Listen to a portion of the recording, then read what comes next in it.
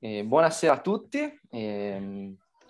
sono, sono, felice eh, a nome del Comitato Scientifico di IRC di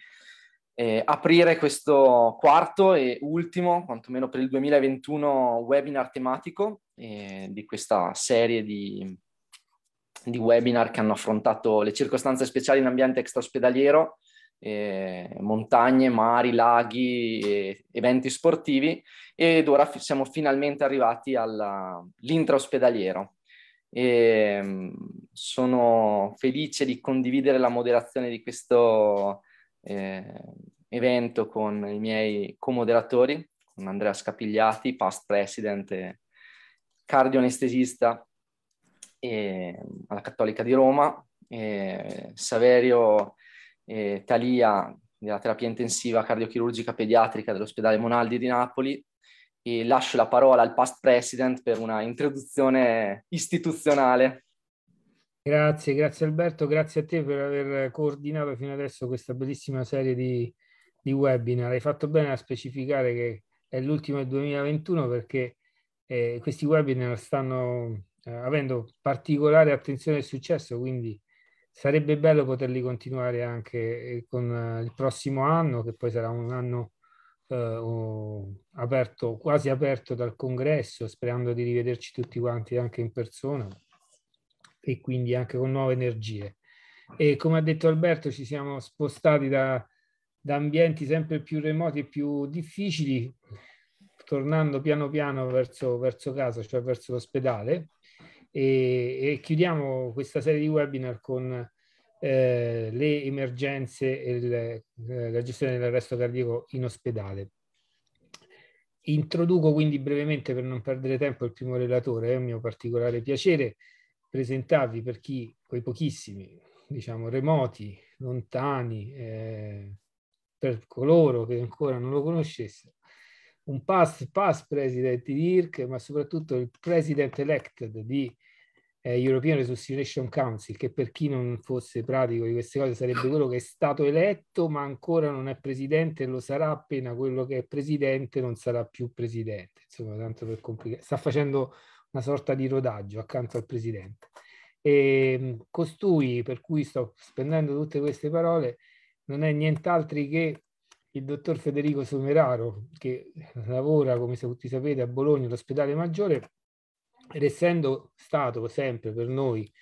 una sorta di così, uomo del futuro, un astronauta, qualcuno che è in orbita attorno a ciò che noi viviamo quotidianamente e che vede sempre più lontano degli altri, non potevamo che affidargli uno dei temi più importanti nella risposta all'arresto cardiaco e alle emergenze intraospedaliere, ma con uno sguardo particolare verso il futuro. Per cui Federico ci parlerà del Rapid Response System, ma una visione per il futuro. Federico, grazie di esserci.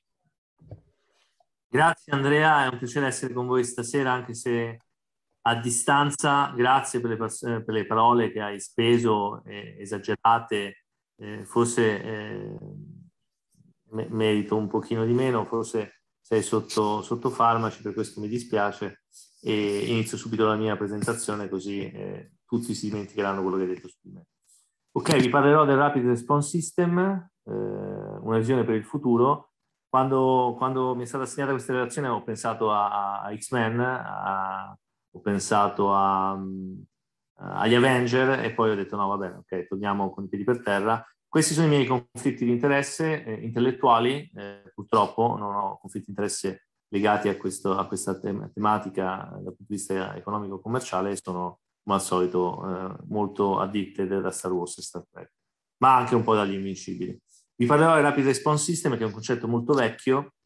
ma prima di tutto non posso, nella mia veste istituzionale, raccontarvi cosa dicono le linee guida. Come voi tutti sapete, le linee guida sono un distillato o un frutto che viene fuori dal, dal Consensus on Science di Ilcor, una metafora bellissima eh, inventata da Daniele Trevisanutto. Ilcor è le radici, sono le radici di tutte le linee guida ERC è uno dei tanti regio- eh, Regional Registration Council che poi eh, produce linee guida in Europa e vengono implementate localmente in Italia dagli ERC. Cosa dicono le linee guida? Eh, quindi cosa dice prima il Consensus on Science? vi faccio questo excursus cronologico per farvi capire anche eh, diciamo, la timeline con cui sono state prodotte. A gennaio 2020 Ilcor eh, rilascia il, la raccomandazione sull'emergenza intraospedaliero e raccomanda di introdurre un sistema di risposta rapida, un rapid response system. Perché? Perché riduce l'incidenza del, dell'arresto cardiaco intraospedaliero e la mortalità intraospedaliera. Questo, attenzione, eh, lo sottolineo, con una raccomandazione debole perché ci sono poche evidenze su questa raccomandazione. Questo succede a gennaio, viene pubblicato su Resuscitation eh, l'articolo di riferimento del gruppo eh, Education Implementation in Teams e anche qui eh, praticamente la stessa raccomandazione, vi faccio vedere lo scursus. Dalle radici di Ilcor eh, escono le linee guida a marzo, European Resuscitation Council presenta le linee guida con un nuovo capitolo System Saving Life che insieme a Andrea abbiamo avuto l'onore di, di, scrivere. A marzo vengono rilasciate le linee guida e nel capitolo eh, System Saving Life esiste il paragrafo diciamo, uh, dedicato al Learning Warning Score, Rapid, Rapid System e Medical Emergency Team. Niente di diverso da quello eh, detto da Ilcor, quindi in linea con Ilcor il suggerimento è di introdurre un sistema di rapida risposta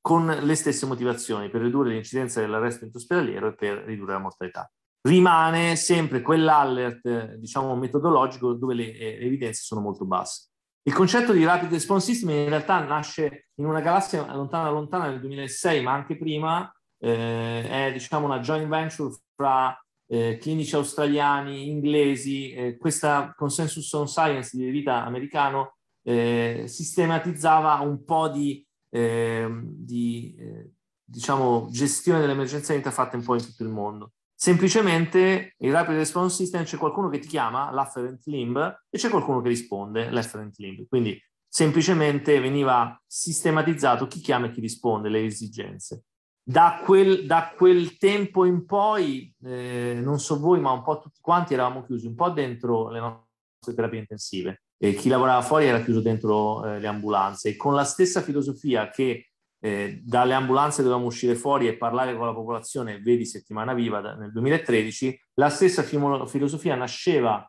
dentro l'ospedale, sarà ora che par- usciamo fuori dalle mura dell'intensive care e parliamo con i nostri colleghi che ti chiamano. E questo è il primo messaggio, eh, quindi lo sforzo comunicativo, poi lo vediamo alla fine qual è il physique role che deve avere chi risponde all'emergenza intra, è parlare con chi sta fuori dal critical care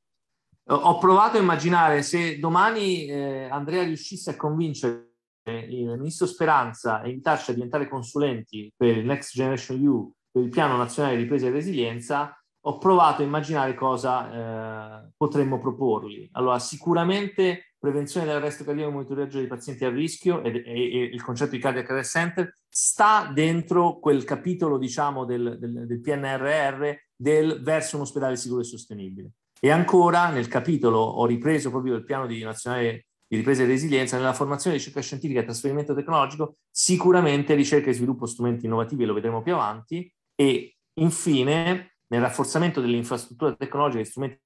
la raccolta e l'elaborazione analisi dei dati e simulazione, ovviamente il registro sugli arresti cardiaci intra ed ex ospedaliero e ovviamente delle emergenze intra-ospedaliere.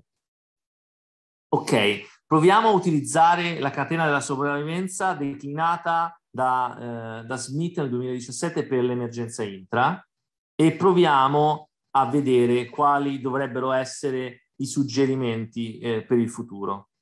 Education. È chiaro che lato di chi chiama e lato di chi risponde, la formazione è uno strumento eh, fondamentale che eh, in termini di competenza chi chiama e chi risponde deve avere. Quindi eh, fa, faccio, come dire, eh, il mio conflitto di interesse intellettuale. È chiaro che chi ha eh, una formazione certificata IRCERC ha una, un passo in più, è innegabile, perché eh, è una cosa in cui crediamo da anni, è una cosa su cui abbiamo vista, eh, investito da anni eh, qualità e per cui sicuramente chi chiama e chi risponde, eh, dove ha una formazione di qualità, eh, chiama meglio e risponde meglio. Questo forse è un concetto semplice ma da rimarcare. Per quanto riguarda un occhio sul futuro, in termini di monitoring, sono usciti, eh, l'effetto collaterale positivo del, del, Covid è stato che molti hanno iniziato a pubblicare cose strane e molti hanno innovato e hanno trovato soluzioni alternative eh, di monitoraggio e il Covid possiamo utilizzare, possiamo pensare che sia un po' un cavallo di Troia per il futuro.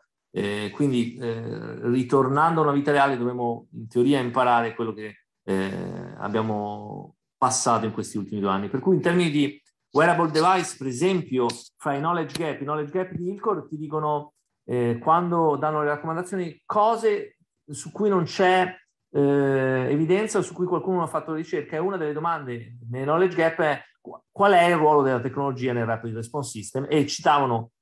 esplicitamente nella raccomandazione Ilcor il remote monitoring e il wearable device. Questo è un articolo che appunto eh, suggerisce eh, eh, di utilizzare dei, dei device eh, eh, indossabili per fare il monitoraggio dei pazienti. Se uno pensa che questa tecnologia è costosa, in realtà c'è questo bellissimo lavoro fatto in India, eh, usato durante il periodo pandemico, proprio per fare telemedicina nei reparti, nelle ward, nei reparti ordinari e, e a distanza con la tecnologia eh, NFC per eh, tenere monitorati i pazienti. E ancora, sempre guardando, stizzando un po', un po l'occhio alla tecnologia, il, il remote monitoring, sempre con la scusa del Covid, questo auricolare che riesce, questo è un lavoro molto bello uscito quest'anno, riesce a eh,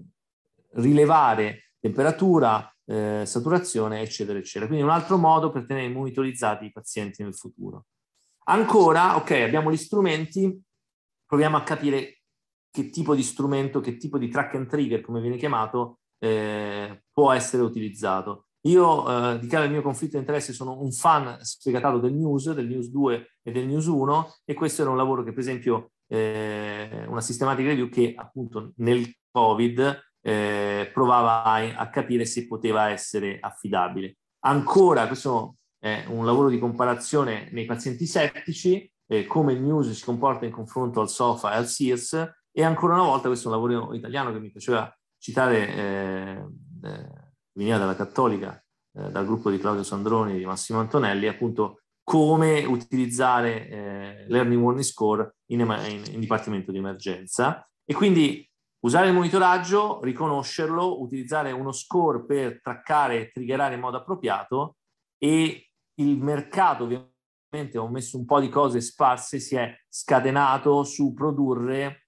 degli strumenti che in qualche modo possono aiutare l'end user, il clinico, a fare esattamente quello di cui ho raccontato. Addirittura c'è questa telecamera che guardate in basso a destra, in qualche modo riesce a eh, rilevare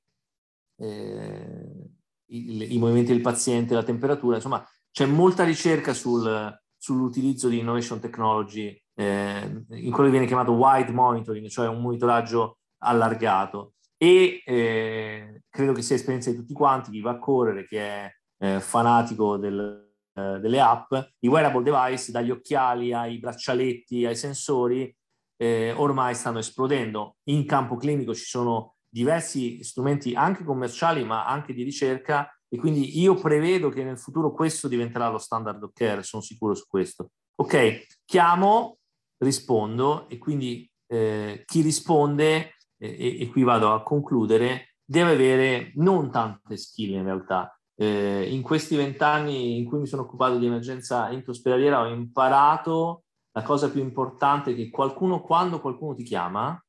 ha bisogno e la prima cosa che non devi fare è eh, in, come dire, interagire in modo eh, non elegante. Quindi eh, ci, ci, vuole una capacità di comunicazione importante, ci vuole dell'empatia, bisogna mettersi nella divisa dell'altro, nel camice dell'altro e, e mi sta chiamando per avere una mano e non per ricevere un feedback negativo o per, o per ricevere la classica frase del tipo perché mi ha chiamato questo paziente così e colà. Per cui sicuramente eh, una de, de, degli skill più importanti del personale che risponde è avere una ottima gestione dei non technical skill,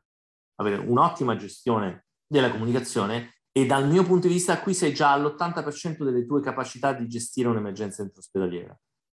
Ovviamente in termini di competenza abbiamo detto prima, eh, devi essere un po' eh, un factotum di qualità, per cui devi sapere gestire l'arresto cardiaco, la sepsi, eh, il, la gestione perioperatoria di malati se sei in un, in un ospedale con un'alta, eh, dire, un'alta frequenza di, di, pazienti chirurgici e una delle competenze importanti che chi risponde deve avere e si deve interfacciare è il trattamento di fine vita, quindi è un'altra competenza molto importante. Questo per sottolineare eh, quanto in realtà chi risponde eh, lo deve fare, eh, deve avere una, come, deve costruirsi diciamo, una reputazione eh, di buon comunicatore e buon gestore della crisi.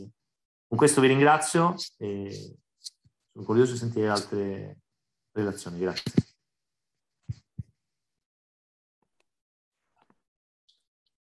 Grazie mille Federico, grazie mille per questo sguardo veloce ma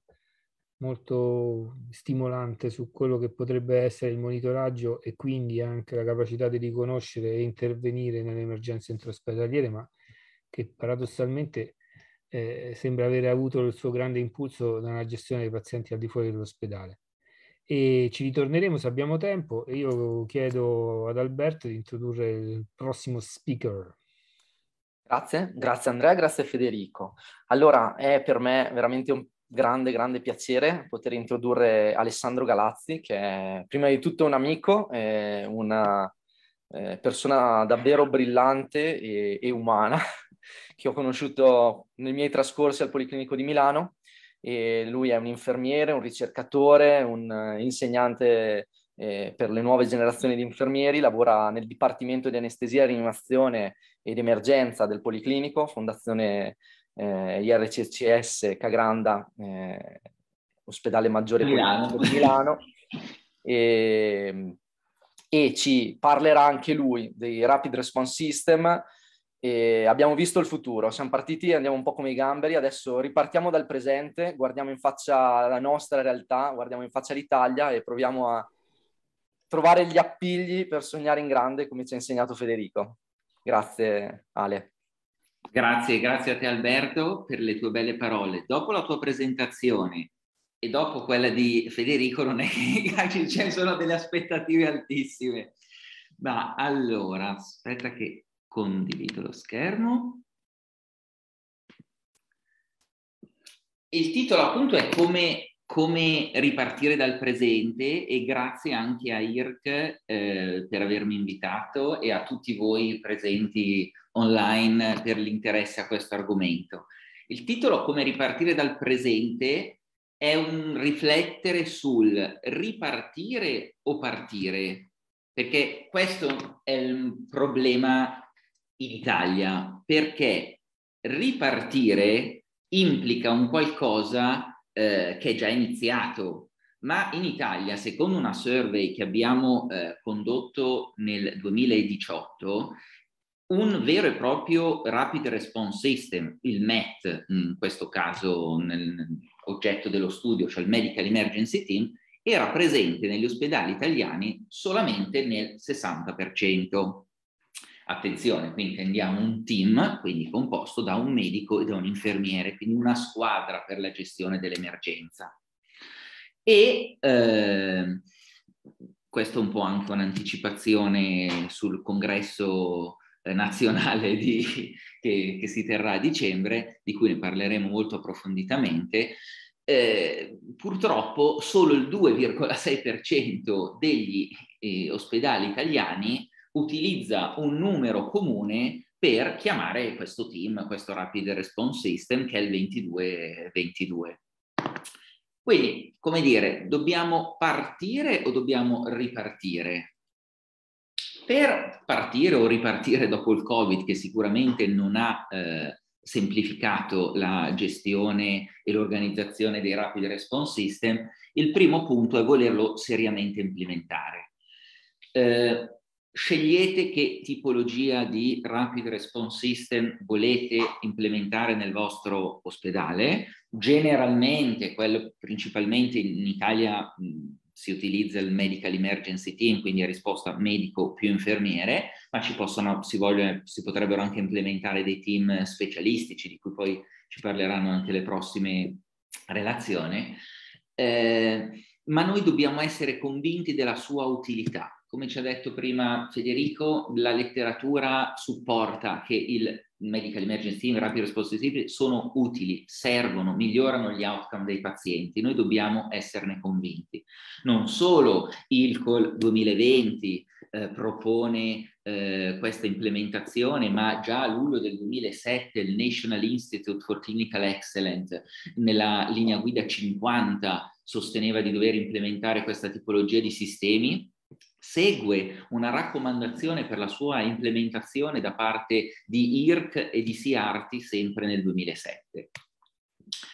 Eh, un altro punto è creare il gruppo, creare il gruppo che eh, non solo è quello della terapia intensiva, normalmente il medico e l'infermiere provengono dalla terapia intensiva, ma ci sono anche delle realtà da cui il personale eh, del, del, MET eh, proviene dal, dal pronto soccorso, ma Rapid Response System è anche integrazione, è coinvolgere i eh, colleghi delle varie unità operative degli ospedali perché puoi avere anche eh, il braccio efferente di cui si parlava prima, eh, cioè una squadra per la risposta alle emergenze intraospedaliere meravigliosa, ma se non hai il personale che è sensibile, eh, che è formato nei reparti per rilevare quali sono eh, i pazienti che stanno deteriorando da un punto di vista clinico, ehm,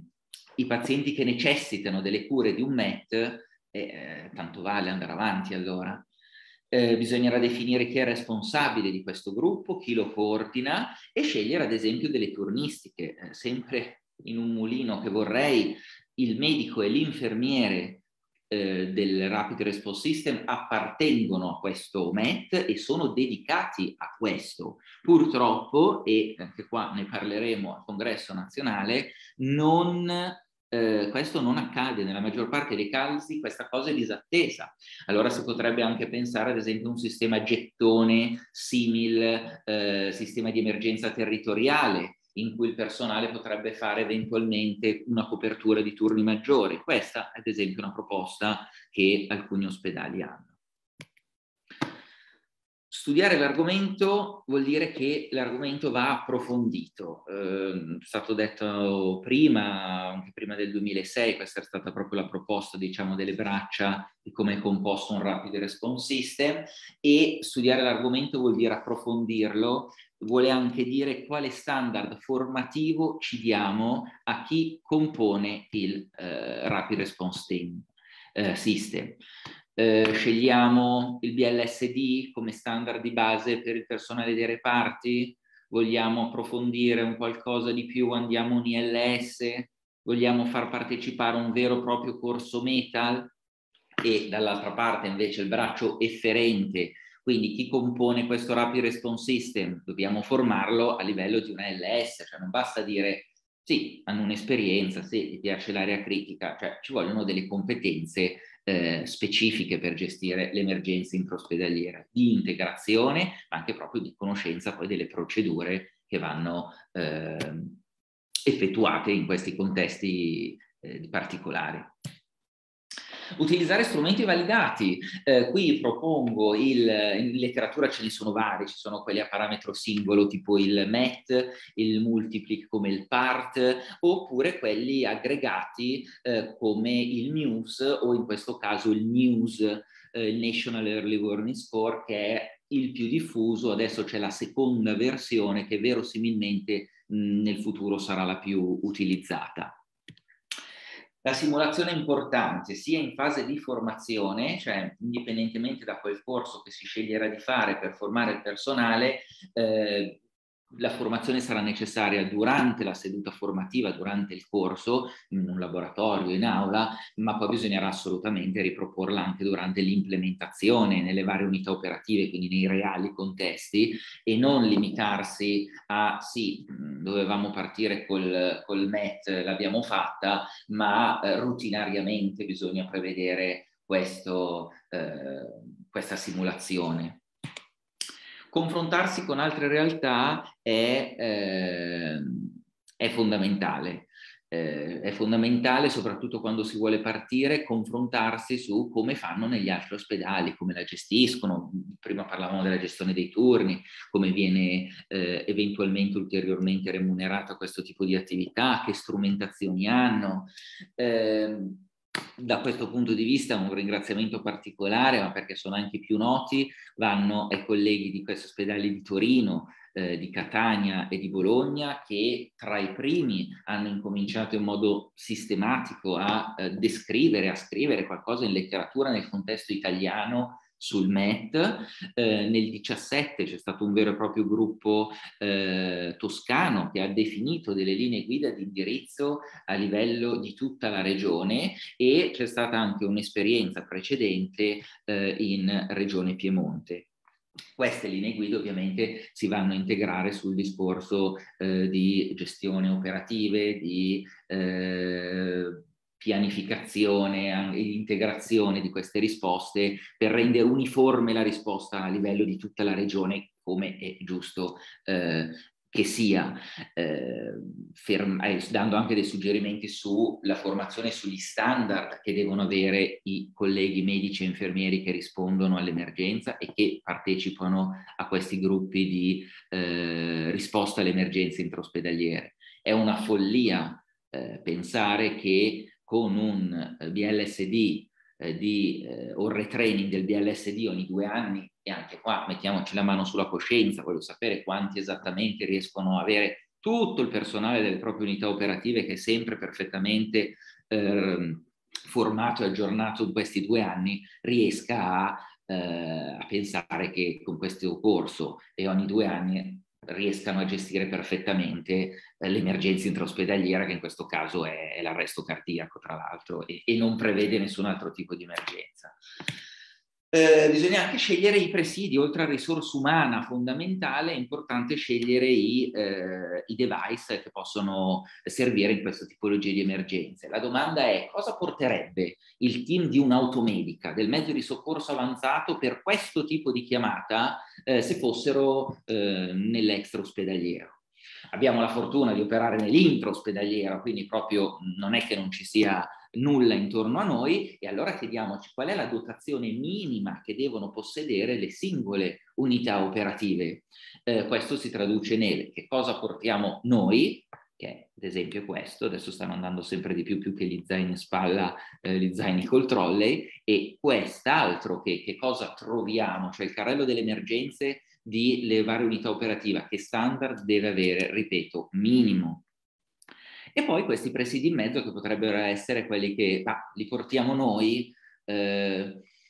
li troviamo nelle unità operative e poi li troviamo nel trasporto, ad esempio, ok, che in tutte le unità operative ci sia un defibrillatore semiautomatico, ma ovviamente per, una, per un MET sarà richiesto un defibrillatore, monitor defibrillatore eh, manuale, con anche un tipologia di monitoraggio avanzato. L'aspiratore, ok, avremo delle prese a muro, ma su un trasporto bisognerà pensare a un... Ehm, aspiratore portatile, eh, il, massaggiatori eh, automatici esterni, li porta il team dell'emergenza o saranno presenti in eh, ogni unità operativa? Questi sono tutti aspetti che vanno eh, valutati.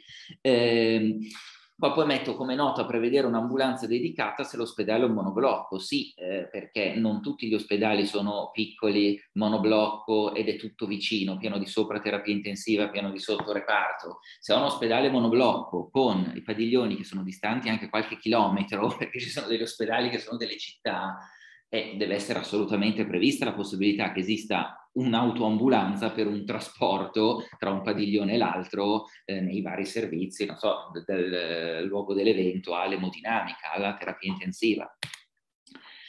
Documentare l'attività è fondamentale, quello che non è documentato vuol dire che non è stato fatto. Quindi, soprattutto all'inizio, per un discorso di registrare la tipologia di attività, giustificare quello che viene fatto e poi successivamente fare una valutazione non solo per un punto di vista della qualità, ma proprio anche per capire gli outcome dei pazienti, quello che io ho fatto, quello che il mio gruppo ha fatto e eh, quali sono le tipologie quindi di prestazione, il flusso di chiamate, è fondamentale registrare. Eh, registrare come? C'è chi ha delle note particolari in cartella clinica, c'è chi utilizza delle schede specifiche, ovviamente si raccomanda un sistema che è informatizzato, che è accessibile da tutti, computer in rete dell'ospedale e che poi l'unità operativa che gestisce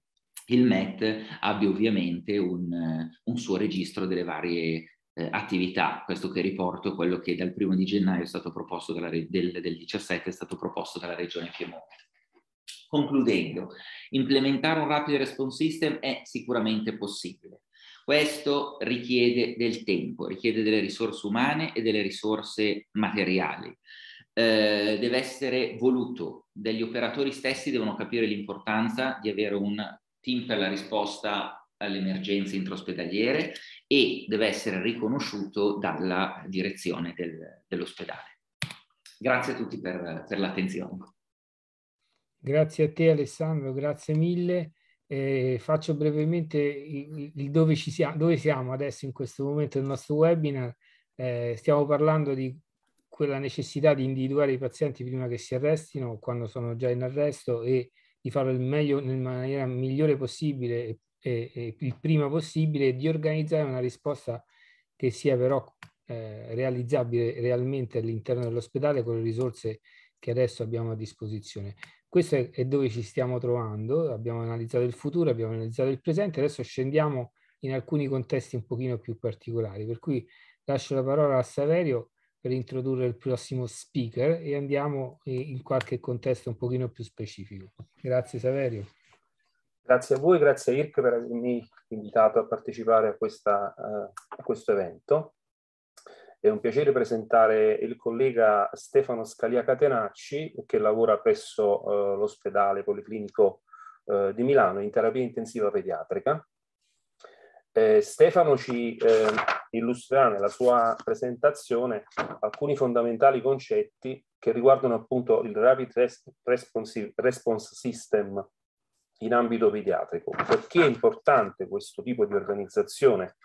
in un ospedale pediatrico centrale ma anche e soprattutto periferico, tenendo conto che spesso gli eventi pediatrici intraospedalieri, eh, come eh, eh Stefano ci illustrerà,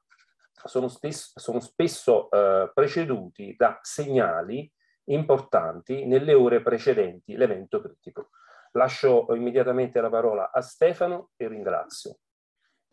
Eh, buonasera a tutti, grazie del, dell'invito alla partecipazione, grazie dell'introduzione. Um, scusate.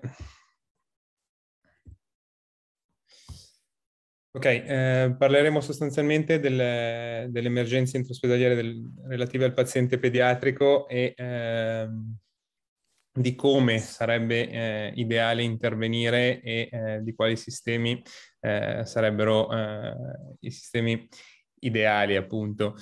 mi riaggancio un pochino a, alle presentazioni già fatte e parto dicendo che l'arresto cardiaco, l'arresto cardiaco come eh, accennato nell'introduzione, eh, non è altro che eh, la fine, il capolinea di una graduale progressione di ehm, sostanzialmente di, di, di, di, una fisiologia normale, di un, un'evoluzione verso un deterioramento. Eh, quindi se noi identifichiamo e correggiamo eh, questo deterioramento in maniera precoce, eh, verosimilmente l'outcome per il nostro paziente eh, migliorerà.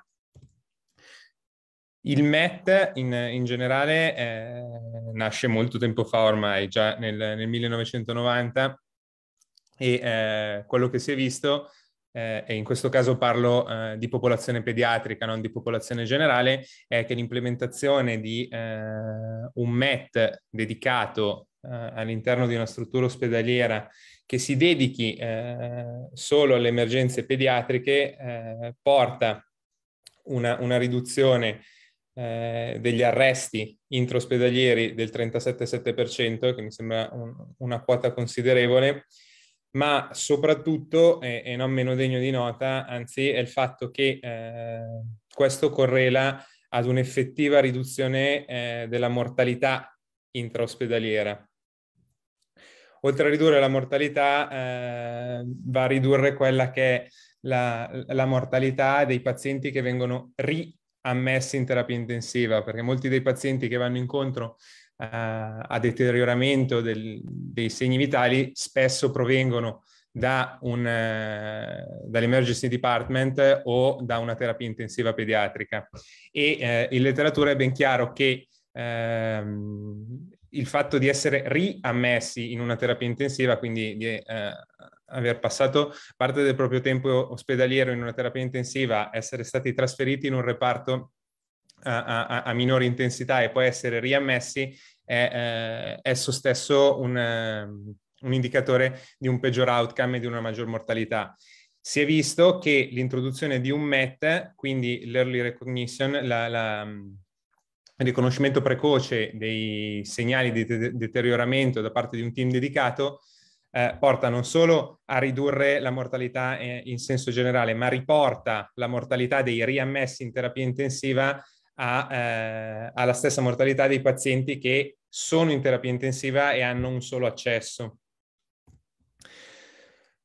Ma eh, andiamo a vedere brevemente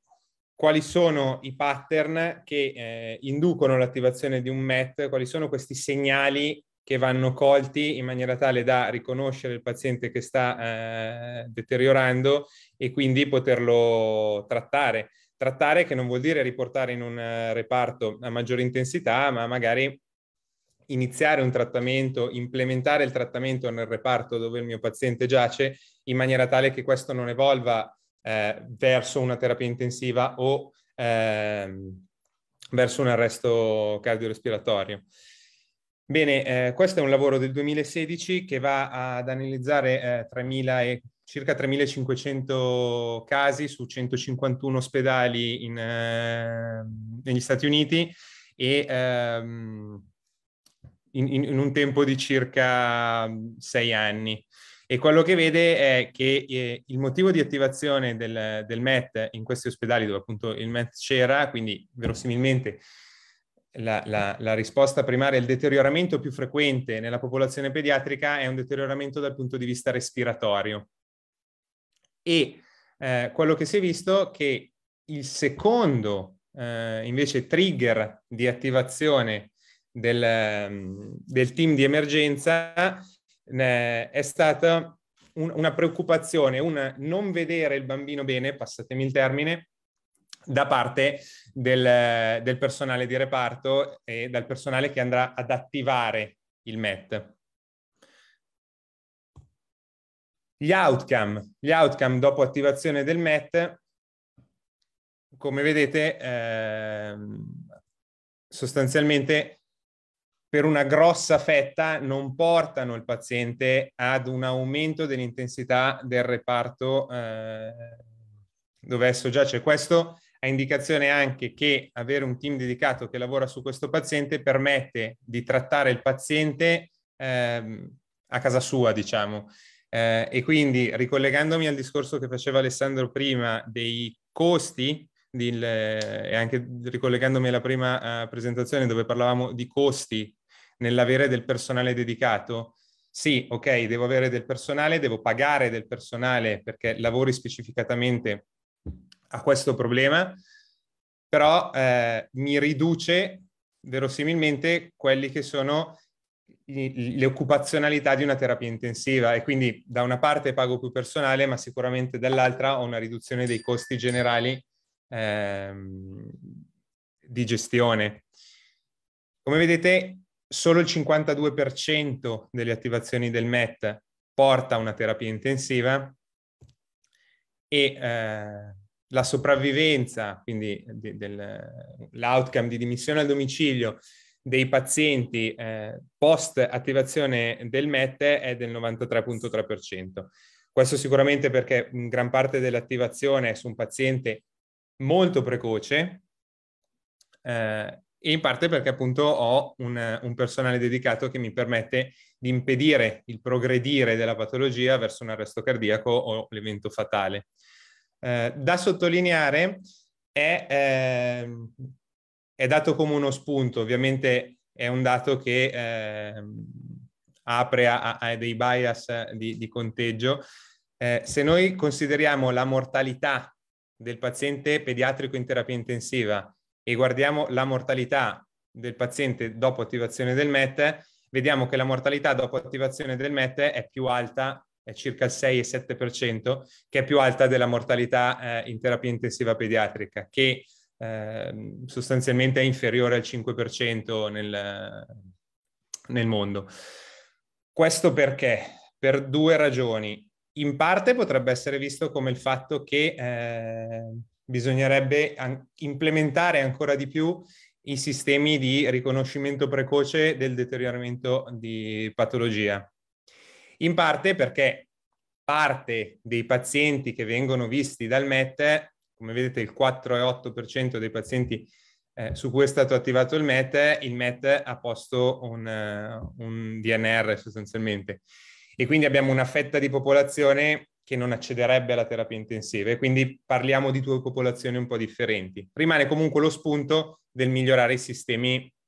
di riconoscimento precoce, a mio avviso. Brevi considerazioni. Quello che vede questo studio del 2016, eh, recitandolo, è che eh, il tempo medio in cui il personale del MET lavora sul paziente è di mezz'ora. Il 25% dei pazienti, e parliamo appunto di 3.500 pazienti, quindi eh, è una media reale, possiamo parlare di numeri veri a questo punto, richiede quasi un'ora. Questo cosa significa? Che eh, al di là dell'avere del personale che lavora su quello e quindi riconosce prima il bambino, lo tratta prima, e eh, riduce le sue ammissioni alle, alle ICU e riduce la mortalità, migliora l'outcome, il fatto di prendere il personale da un dipartimento di emergenza, da una terapia intensiva pediatrica, quindi non avere personale dedicato e doverlo spostare a chiamata su un'urgenza e su un'emergenza, capite bene che porta via questo personale dalla terapia intensiva durante la giornata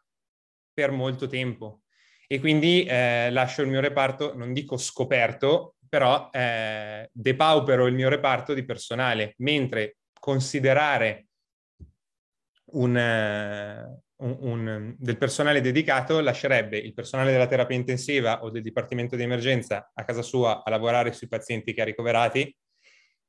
e mi lascerebbe il mio MET, il mio, il mio uh, emergency team, a lavorare serenamente, senza la preoccupazione del reparto, sul mio paziente.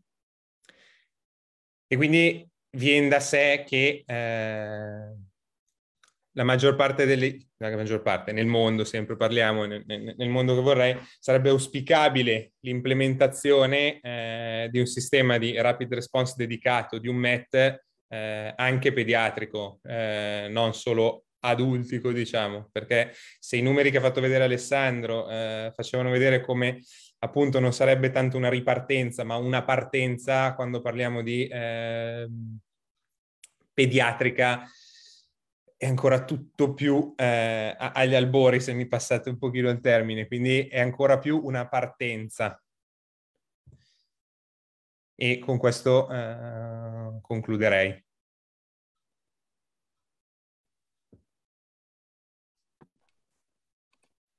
Grazie Stefano. Grazie Stefano.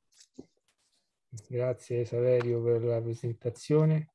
e scusatemi se vi ho intrattenuto mentre Stefano parlava. e, proseguiamo eh, da un ambiente specifico come quello pediatrico a un ambiente ancora più specifico e ho il piacere di presentare il prossimo relatore, Gabriella Arlotta, che è una cardioanestesista della terapia intensiva della cardioanestesia dell'ospedale eh, univers- Policlinico Universitario eh, Agostino Gemelli di Roma, che ci parlerà dell'arresto cardiaco monitorizzato e delle emergenze in sala operatoria, un altro ambiente specifico all'interno dell'ospedale dove l'arresto cardiaco potrebbe essere di, o essere considerato di più facile gestione, ma come penso Gabriella ci dirà, non è mai eh, nulla scontato. Grazie Gabriele. Grazie Andrea. E un attimo che condivido il lo schermo. Bene, grazie Andrea. Eh, ringrazio il Comitato Scientifico di IRC per avermi invitato a parlare di questo eh, argomento estremamente complesso e interessante, soprattutto per chi lavora in sala operatoria e eh, nella emergenza intraospedaliera. Parleremo infatti di, del paziente che in qualunque setting si trovi a essere eh, assistito, quindi in una sala operatoria, una sala di emodinamica, una terapia intensiva, ha comunque un'unica uh, caratteristica che è quella di essere monitorizzato nel modo più completo come quello che vedete qui con tutte le pressioni ehm, cruente, invasive, monitorizzate, quella arteriosa, quella polmonare, quella della pressione venosa centrale, ha ehm, anche un monitoraggio più semplice, ma comunque è un uh, elemento che contraddistingue questa tipologia di pazienti e che consente agli operatori sanitari che li assistono di avere degli elementi eh, in continuo, in real time, estremamente utili per poter valutarne eh, la condizione clinica e l'eventuale iniziale deterioramento fino all'arresto cardiaco.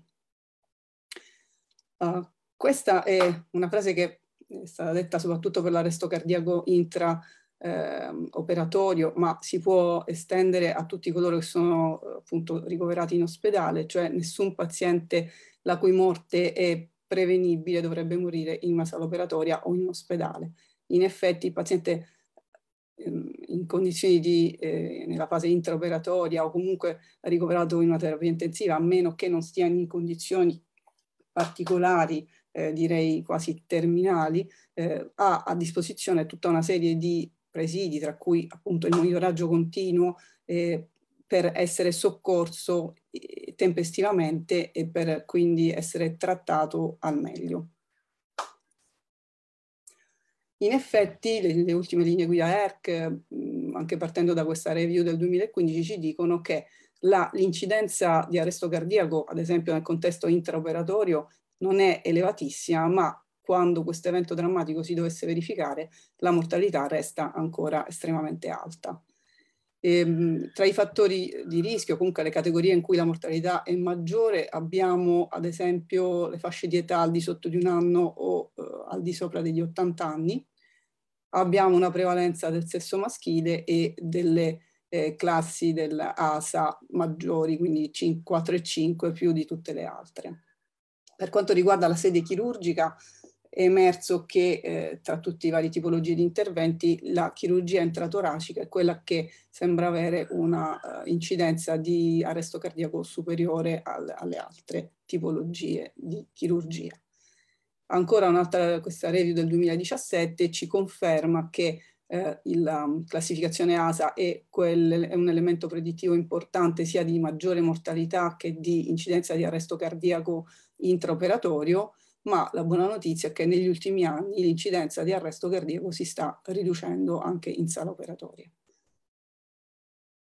Questa review più recente del 2020 che analizza um, un enorme eh, numero di eh, pazienti sottoposti a chirurgia non cardiaca eh, presi dal registro dell'American College of Surgeons, ci dice ancora che l'incidenza di arresto cardiaco non è così elevata, ma la mortalità, se considerate che questa è quella relativa uh, confrontata con tutta la popolazione, resta comunque ancora una volta elevata. I fattori di rischio individuati sono ancora questi, cioè una classe ASA elevata, la presenza di sepsi eh, o SIRS, e nella fase intraoperatoria in particolare eh, la tipologia di mh, chirurgia a cui il paziente viene sottoposto, eh, la chirurgia in emergenza ovviamente, la tecnica anestesiologica con una prevalenza di arresto durante l'anestesia generale. La, ehm, per quanto riguarda la fase del post-operatorio, eh, sembra che un fattore predittivo di arresto cardiaco possa essere l'insufficienza land stage renal disease, cioè l'insufficienza renale, associata anche all'età e alla capacità funzionale di partenza del paziente ridotta per arrivare poi alla mortalità a 30 giorni influenzata da tutti questi elementi associati poi alla presenza ad esempio di patologie neoplastiche. Nella fase intra, nella condizione intraoperatoria vengono, eh, si possono ehm, individuare dif differenti eh, cause o condizioni che possono predisporre all'arresto cardiaco quali problemi ovviamente legati all'anestesia, problemi respiratori, cardiovascolari o anche alla stessa tecnica chirurgica. Pensiamo ad esempio a un, a un, ad un aumento della pressione intraaddominale, ad esempio durante la paroscopia, che può ridurre il ritorno venoso al cuore e quindi destabilizzare pazienti magari non eh, così stabili eh, di loro. Eh, lo pneumotorace iperteso, ad esempio elevate pressioni positive di fine ispirazione o le stesse manovre chirurgiche che in qualche modo possono interferire sul circolo e quindi eventualmente portare anche ad arresto cardiaco. Come al solito le linee guida eh, sottolineano un aspetto importante che noi sappiamo bene essere quello della prevenzione e della preparazione al peggio, diciamo, con questa bella immagine della catena della, della sopravvivenza dell'intraospedaliero che ci dice che la prevenzione e l'individuazione dei segnali di allarme, oltre ovviamente a una uh, rianimazione precoce, sono tra gli elementi più importanti per prevenire e migliorare la prognosi del paziente nell'intraospedaliero. E le linee guida del 2021 di ERC ci stressano uh, alcune considerazioni, cioè se sappiamo di avere a che fare con pazienti potenzialmente a rischio di arresto cardiaco, eh, consideriamo precocemente di, il deterioramento e quindi allertiamo il team in modo tempestivo. E nella fase di preparazione consideriamo il monitoraggio della pressione arteriosa invasiva, ad esempio, o posizioniamo le placche adesive per la defibrillazione prima, per esempio, che sia completato il campo operatorio, perché dopo sappiamo potrebbe essere più difficoltoso e potremmo perdere del tempo prezioso e teniamo a disposizione un defibrillatore prontamente disponibile. Consideriamo però ovviamente accessi venosi adeguati al tipo di intervento, alla condizione di partenza del paziente e cerchiamo anche di avere disponibili sempre i farmaci del protocollo di gestione dell'arresto cardiaco, oltre a fluidi e edemazia. Per quanto riguarda il protocollo dell'arresto cardiaco, il paziente monitorizzato eh, ha delle caratteristiche particolari, ad esempio la conferma dell'arresto cardiaco può essere immediata, più immediata del normale, oltre che la maggior parte dei pazienti, magari ricoverati in terapia intensiva o in sala operatoria, non hanno l'elemento della coscienza perché sono sedati,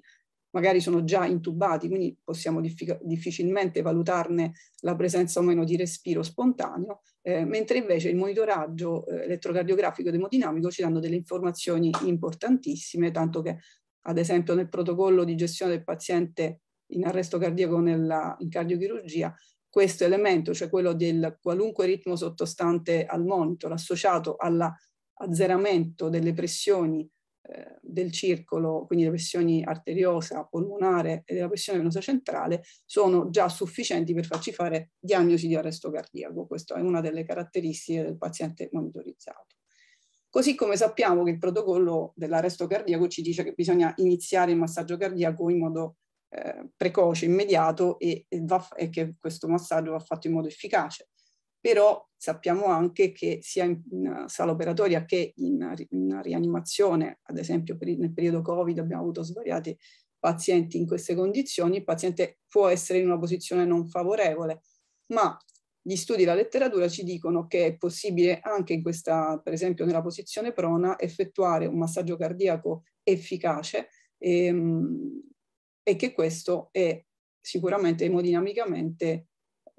equiparabile al massaggio cardiaco che faremmo in posizione supina e quindi comprimendo come sappiamo normalmente sullo sterno. Quanto riguarda i ritmi defibrillabili, anche qui il fatto di essere monitorizzati, eh, in, che il paziente sia monitorizzato, ci induce a vedere immediatamente il ritmo. E se il ritmo è defibrillabile, sia il protocollo, ad esempio, di gestione del paziente in arresto in sala di emodinamica che in cardiochirurgia ci dicono che è indicato effettuare tre, fino a tre shock consecutivi al posto del classico primo shock che faremmo nell'algoritmo normale dell'arresto cardiaco. Um, questa, questa, tipologia, questa tripletta, eh, questa variazione, quindi variante dell'algoritmo, può essere inserita, ci dicono le linee guida, anche nel paziente monitorizzato eh, ricoverato in una normale terapia intensiva. E poi eh, sappiamo che il protocollo ci dice di cercare le cause reversibili dell'arresto e sia in sala operatoria che anche in uh, alcune condizioni eh, del paziente ricoverato ad esempio in terapia intensiva abbiamo delle tra, le tante, tra tutte le cause reversibili alcune in particolare che eh, dobbiamo andare a ricercare ed escludere principalmente e prontamente che sono per esempio l'ipossia, che può essere legata spesso alla gestione delle vie aeree, magari difficile nel momento in cui andiamo a intubare un paziente, oppure a una dislocazione del tubo endotracheale nel paziente già intubato, oppure per esempio in sala operatoria a condizioni di laringospasmo, eh, ad esempio legate a una condizione di anafilassi o il broncospasmo serrato in pazienti asmatici. Sono tutte condizioni che il, lo stesso monitor ci consente di individuare e eh, eventualmente gestire.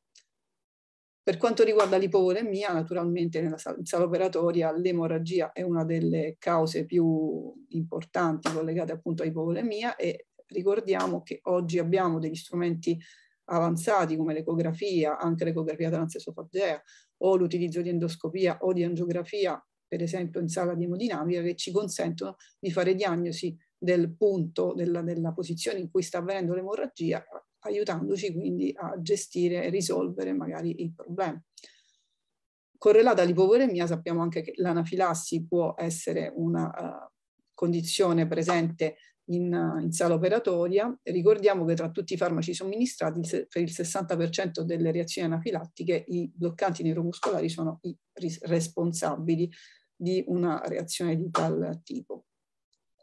Abbiamo poi i tossici, considerando che in questi contesti, quindi sia in sala operatoria che in terapia intensiva, il paziente spesso fa farmaci in infusione continua che possono accidentalmente essere somministrati in dosaggio eh, non, non, corretto, come ad esempio a causa di un malfunzionamento di una pompa infusionale, eh, oppure ricordiamo la tossicità sistemica da anestetici locali come una delle cause legate appunto alla,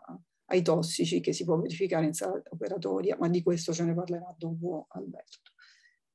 Anche le altre cause, anche se meno frequenti, possono presentarsi in un contesto di sala operatoria o di terapia intensiva, come la trombosi polmonare, la coronarica, mentre per l'ipercaliemia, considerando che i pazienti di solito sono più eh, controllati in quanto effettuano frequenti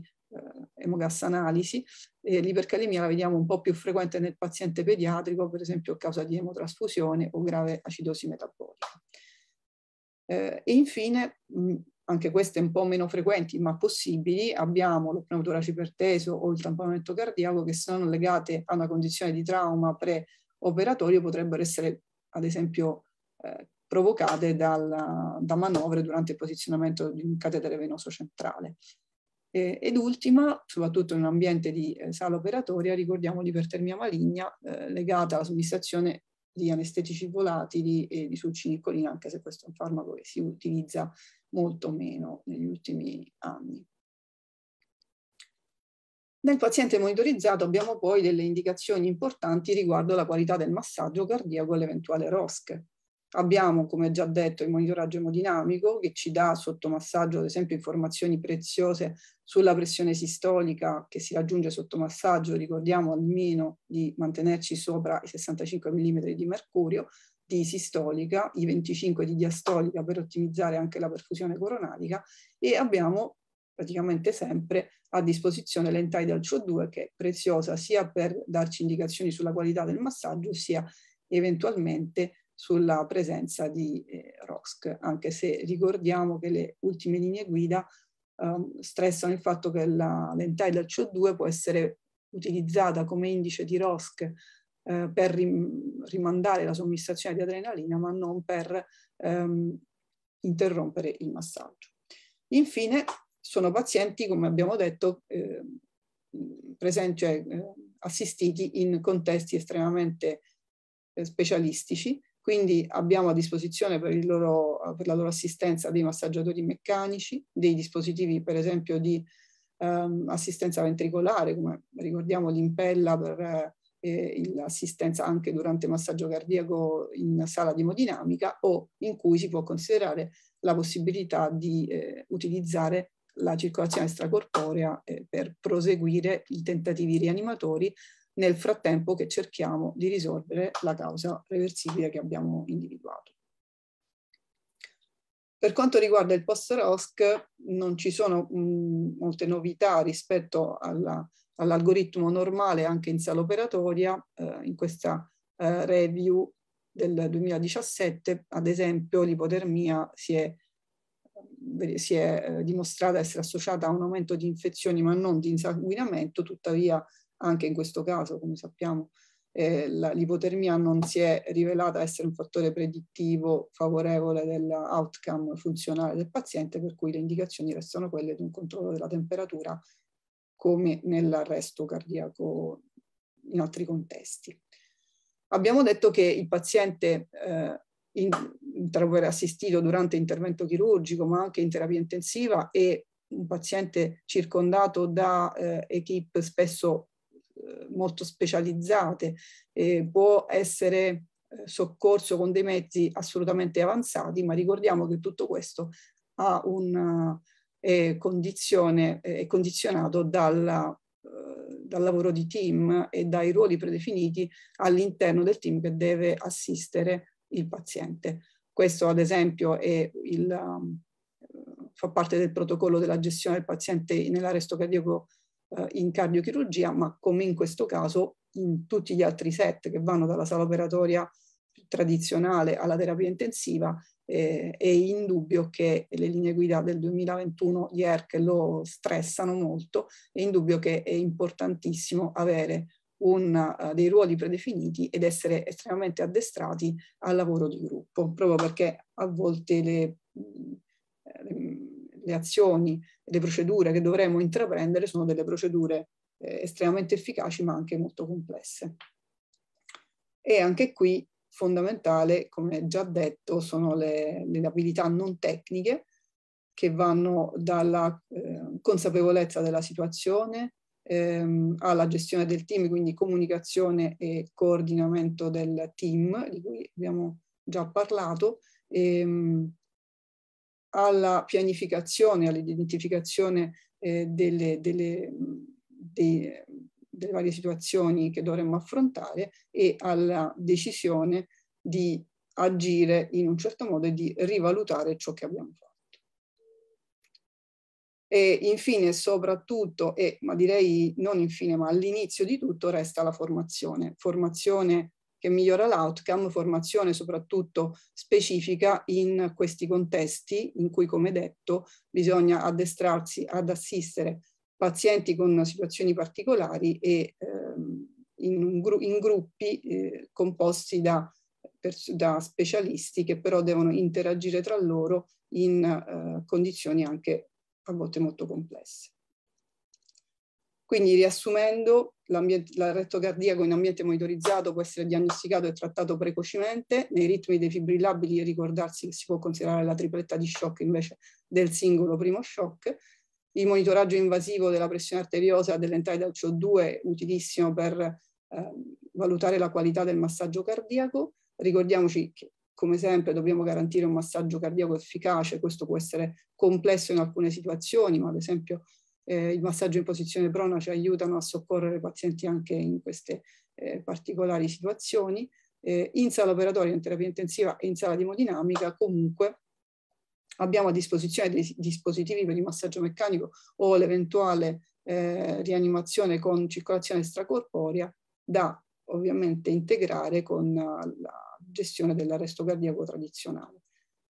È fondamentale il lavoro in team e le non technical skill, per cui è necessario sempre di più approfondire eh, protocolli dedicati e ruoli prestabiliti e poi, come sempre, la formazione è fondamentale in tutti questi contesti per migliorare la prognosi del nostro paziente.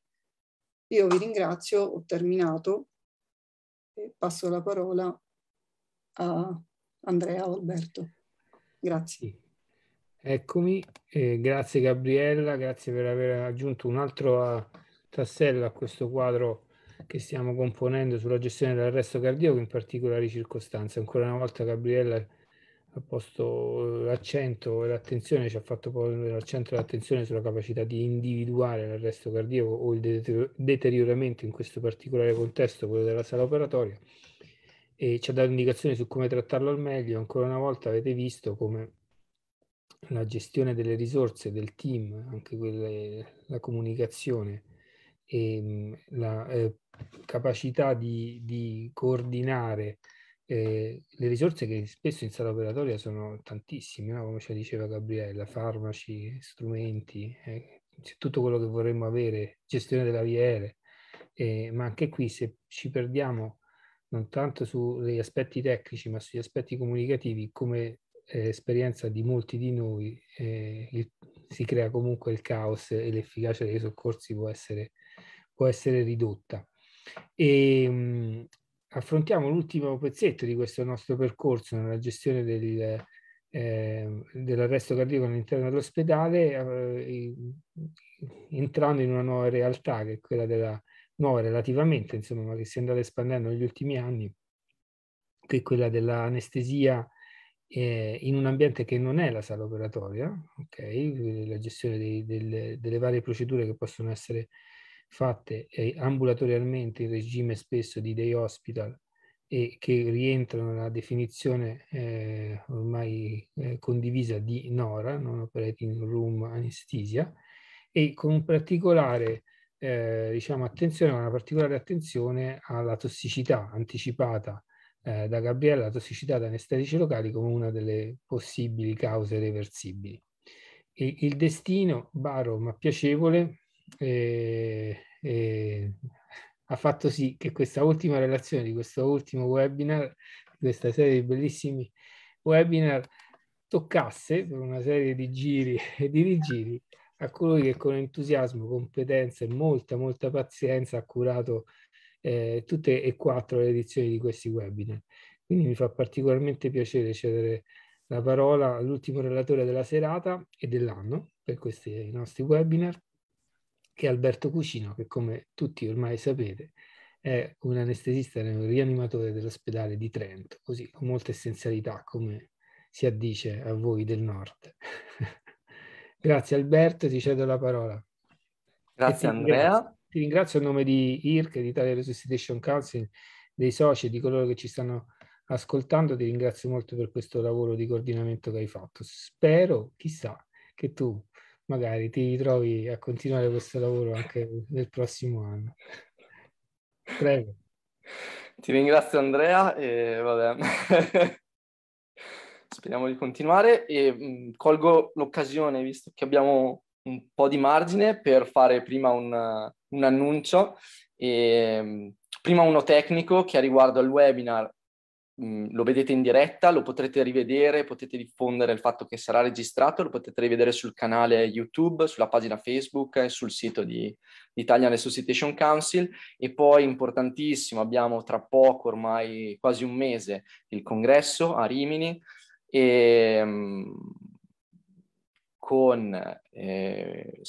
la deadline per l'invio degli abstract il 20 novembre. Quindi vi invito, ultimi dieci giorni, mandate, mandate, mandate, verranno premiati i primi eh, due eh, abstract con un premio economico che fa sempre piacere, soprattutto ai giovani ricercatori, in collaborazione col Journal of Clinical Medicine, che è una collaborazione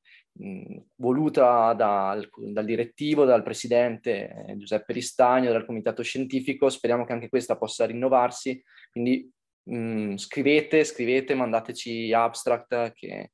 verranno valutati e premiati. Allora, passiamo alle dolenti note, eh, cioè criticità durante NORA, non operating room anesthesia, e anestesia loco regionale.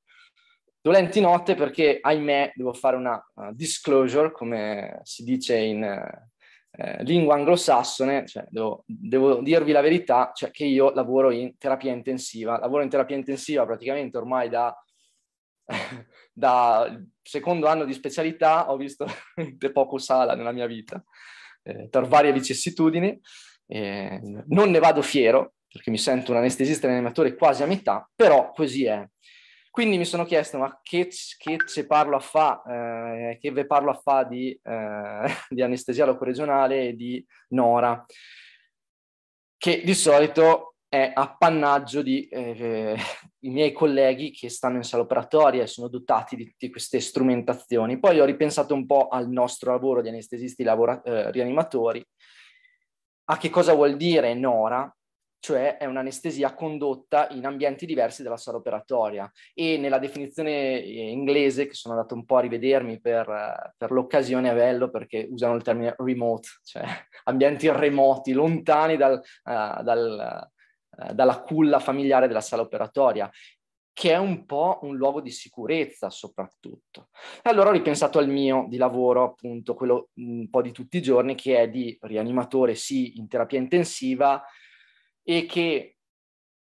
in coda a tutte le presentazioni di Federico, di Alessandro e di Stefano sui Rapid Response uh, System in ospedale, però alle volte, eh, anche quello eh, ahimè, perché non è che siamo organizzatissimi al 100% in questa fase storica eh, nel nostro ospedale con una vera strutturazione, ma abbiamo una sorta di eh, MET che eh, interviene nei casi di emergenza ed interviene anche in tutte quelle situazioni di richiesta rianimatoria urgente, quindi ho ripensato un po' al mio lavoro, ho pensato ma cardioversioni elettriche, ho pensato alle sedazioni in pronto soccorso per lussazioni, ho pensato alla radiodiagnostica dei nostri pazienti della terapia intensiva che alle volte in fase eh, finale, nella fase predimissione, però in cui ci sono ancora stati di agitazione, hanno bisogno di fare delle diagnostiche magari avanzate come la risonanza. Ho pensato a tutte le sedazioni procedurali, rachicentesi, mm, pochi giorni fa mi è proprio capitato eh, di essere in pronto soccorso e di dovermi occupare di un paziente eh, anziano eh, a cui fare una rachicentesi e poi magari accessi venosi difficili. Tutte situazioni in cui eh, spesso ci viene chiamata, viene, ci viene richiesta, veniamo chiamati e ci viene richiesta una sedazione. E allora tutto sommato mi sono rincuorato, ho pensato che eh, qualche cosa eh, rispetto alla, eh, alla NORA, alla non operating room anesthesia, posso, eh, posso raccontarlo eh, senza troppa vergogna. E, ehm, e allora, mh,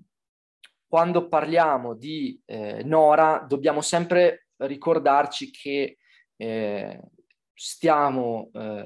considerando una sorta di triade, un, un, triangolo, che è un elemento spesso che, una figura geometrica che spesso ritorna in medicina. No? La medicina è fondata sull'assistenza, sulla formazione, sulla ricerca e così l'anestesia eh, si fonda su una triplice eh, miscela di farmaci, così l'anestesia, le sedazioni in ambiente non di sala operatoria si fonda su una tripletta, cioè c'è un paziente che si interfaccia con una procedura che si realizza all'interno di un ambiente.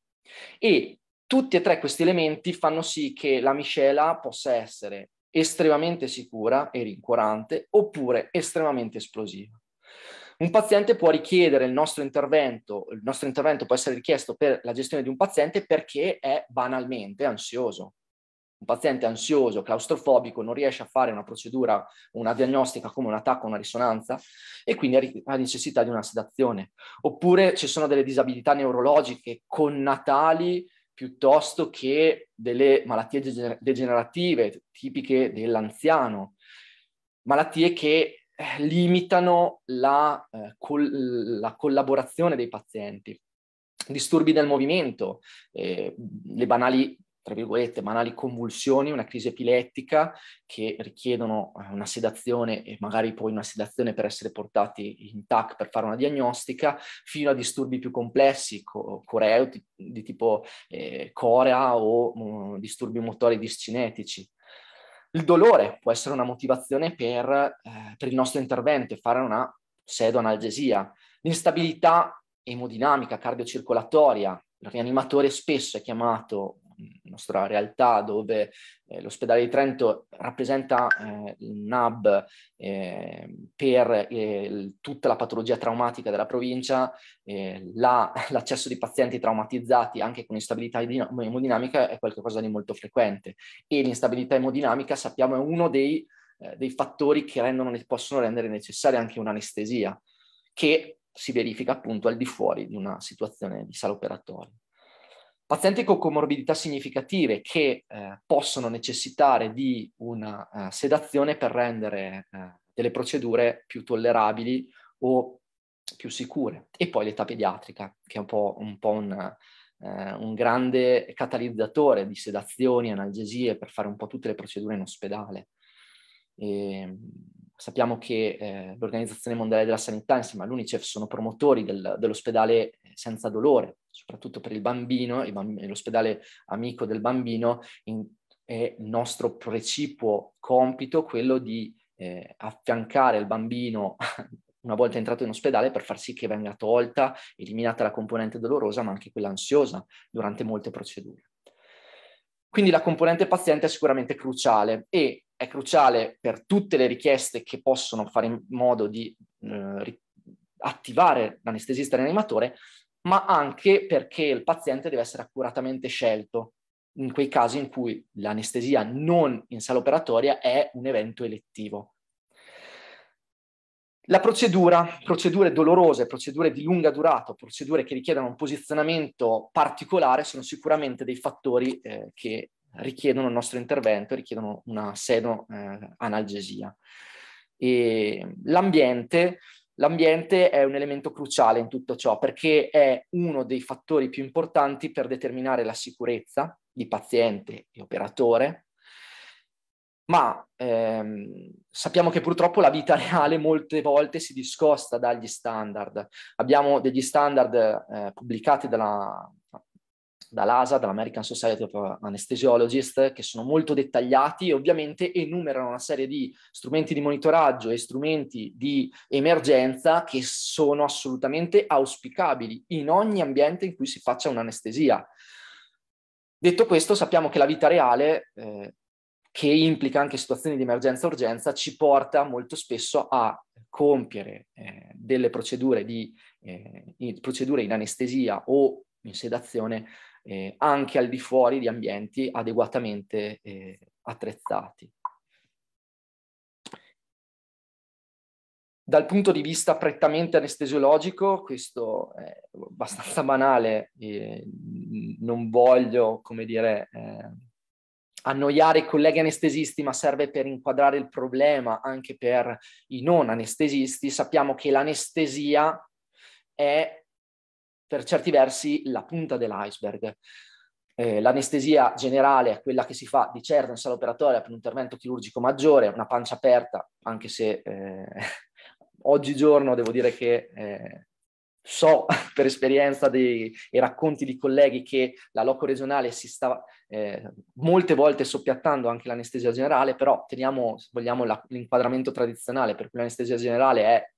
la, eh, il classico trattamento per un paziente che debba fare eh, una chirurgia addominale, ad esempio, maggiore, ma l'anestesia generale è la punta di un iceberg che passa attraverso la semplice ansiolisi, somministrazione di benzodiazepine per tranquillizzare un paziente eh, molto ansioso o claustrofobico, la sedazione cosciente fino alla sedazione profonda dell'anestesia generale. Come vedete è una scala di grigi, non abbiamo un netto passaggio, non ci sono dei, eh, eh delle chiusure tranchant tra un capitolo e l'altro.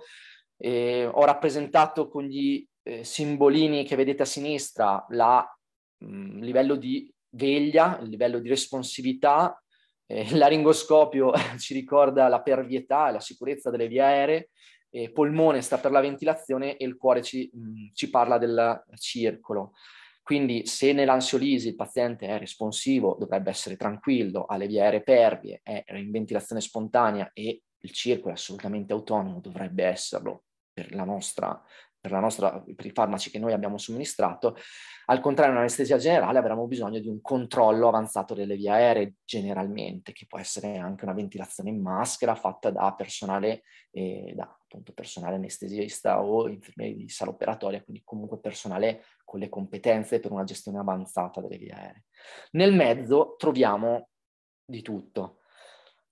Non sono possibili delle eh, delle categorizzazioni tranchant, motivo per cui è molto importante eh, procedere in assoluta sicurezza quando si fanno delle sedazioni al di fuori delle sale operatorie. Gli eventi avversi non sono sicuramente un problema di questo tipo di procedure, non abbiamo grande letteratura a riguardo, non ci sono grandi dati, ciò che sappiamo deriva da questo sistema assicurativo tipico dei paesi anglosassoni che passa attraverso i closed claims, cioè delle eh, segnalazioni eh, alle, eh, alle agenzie assicurative e da queste sappiamo che sicuramente in anestesia eh, ambulatoriale, definiamola, non in sala operatoria, purtroppo deriva una mortalità aumentata rispetto alle anestesie e le sedazioni fatte in sala operatoria. E nella maggior parte dei casi questa mortalità aumentata è, come è facilmente immaginabile, diretta conseguenza di una depressione respiratoria che dalla scala di grigi, dal continuum della, della sedazione e dell'anestesia che abbiamo visto prima, deriva da una oversedation, da una, eh, al, da una mal eh, calibrata sedazione. Una mal calibrata sedazione rispetto alle aspettative, rispetto a, alle, agli strumenti messi in, in, essere per proteggere soprattutto le vie aeree. Quindi eh, passaggio fondamentale ovviamente la prevenzione, la sicurezza abbiamo detto e la prevenzione e la sicurezza passa attraverso degli strumenti di prevenzione. Due raffigurati in immagine sono molto, tra virgolette, banali e comuni oggigiorno, ma eh, molto facilmente dimenticabili in situazioni di emergenza, situazioni di eh, crisi in ambienti come il pronto soccorso o eh, nei casi in cui ci sia un'emergenza eh, al di fuori delle sale operatorie o delle rianimazioni, che sono il pulsossimetro e la capnografia, il monitoraggio della end-tidal CO2, che sono due strumenti tanto banali quanto fondamentali per darci delle informazioni non solo sulla respirazione, ma, come ci ha detto Gabriella poco fa, anche sul circolo. Un end-tidal CO2 presente e di valori normali, di, con curve eh, normali, ci rassicura sulla presenza di un circolo. Una pulsossimetria con un'onda adeguata e con un livello di saturazione adeguato, anche quella ci rassicura o ci può rassicurare in un contesto adeguato sulla perfusione periferica. Ovviamente poi abbiamo il monitoraggio dell'ECG e la pressione arteriosa. Non ultime, anzi direi che sono l'elemento principale come ci diceva Federico nella sua prima presentazione, ma qui dichiaro anch'io il mio conflitto di interessi, ho la maglietta di IRC, eh, sono eh, socio e sono membro del, del, comitato scientifico, la formazione e chi ha una formazione eh, ERC, IRC, Italian Resuscitation Council, European Resuscitation Council, ha sicuramente una marcia in più,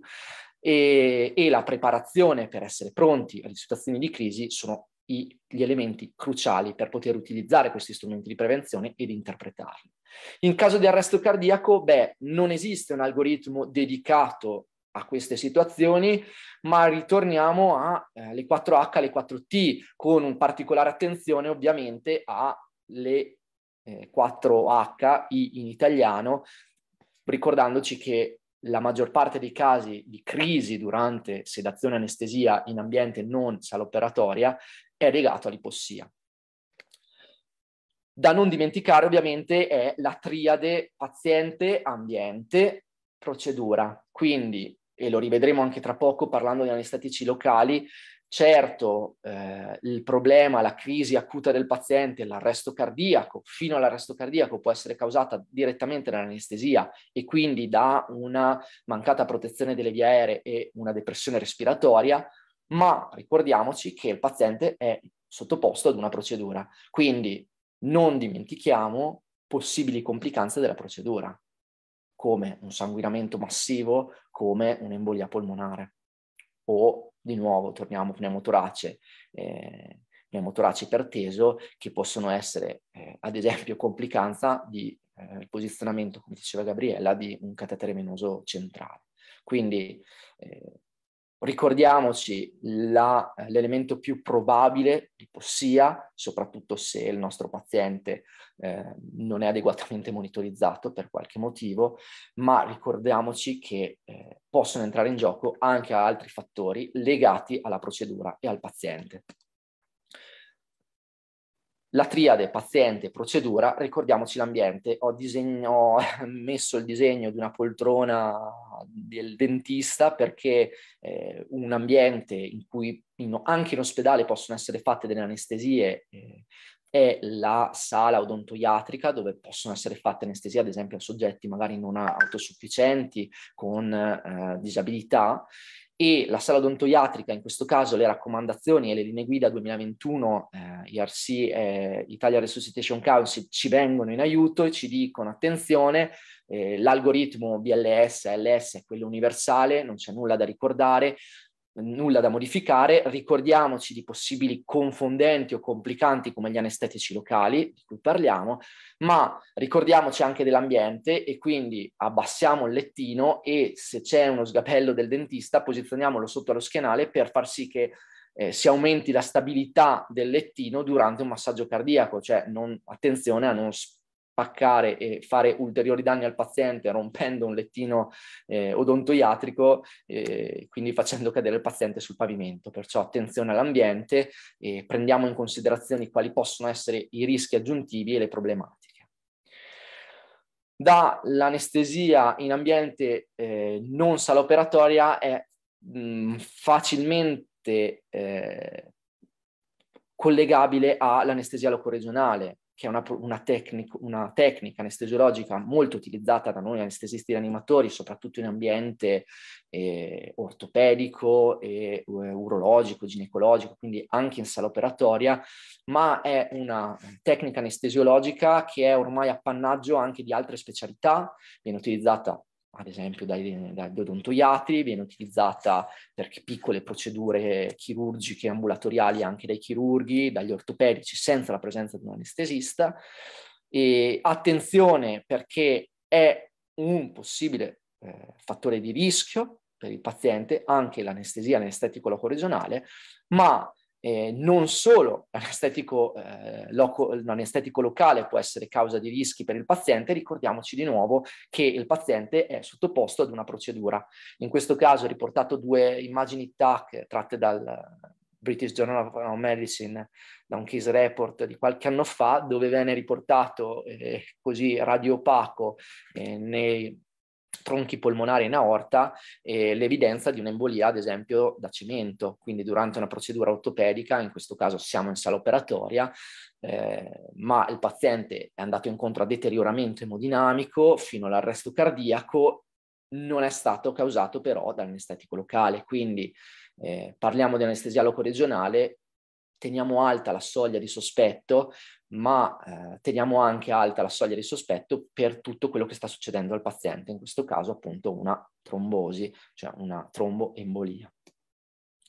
La tossicità da anestetici locali eh, deriva direttamente dalla, mh, dall'azione farmacologica di questi farmaci, che sono dei, dei, farmaci che agiscono sui canali ionici che ci sono nelle cellule e particolarmente nelle cellule nervose. La loro azione è proprio quella di andare ad alterare eh, i canali in modo da ritardare eh, o bloccare la trasmissione nervosa. Eh, è facilmente immaginabile come una diffusione a livello sistemico di questi anestetici, quindi di questi farmaci che bloccano, tra virgolette, i canali dove passano gli ioni, possa provocare gravi problemi, sia a livello nervoso che sia a livello cardiocircolatorio. Le cellule più attive a livello di eh, canali ionici e pompe ioniche sono infatti i neuroni, dove gli scambi ionici servono per propagare le informazioni e le cellule muscolari, di cui eh, il cuore è fatto. Eh, cuore che pompa proprio attraverso uno scambio di ioni tra dentro la cellula e l'esterno della cellula che permettono l'attivazione del meccanismo di contrazione. Quindi la tossicità in anestetici locali è legata alla loro diretta azione farmacologica ed è una conseguenza di eh, assorbimento sistemico a causa di sbagliati dosaggi, a causa di eh, varianti anatomiche per cui eh,